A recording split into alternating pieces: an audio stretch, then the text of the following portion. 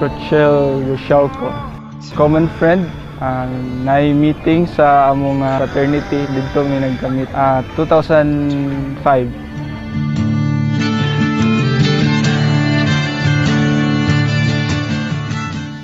Jeff as a person is uh, very patient. At the same time, uh, he's very funny. He always makes me laugh. And that's uh, one thing that I like the most about him.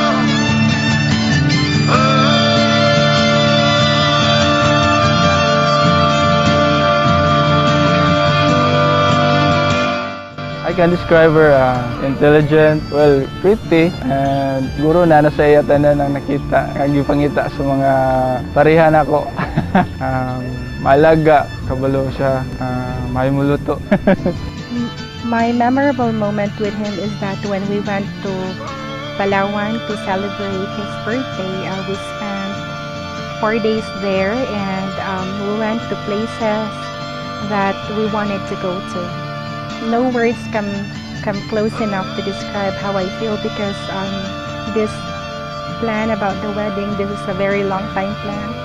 But then maybe um, due to some reasons, it was just materialized recently.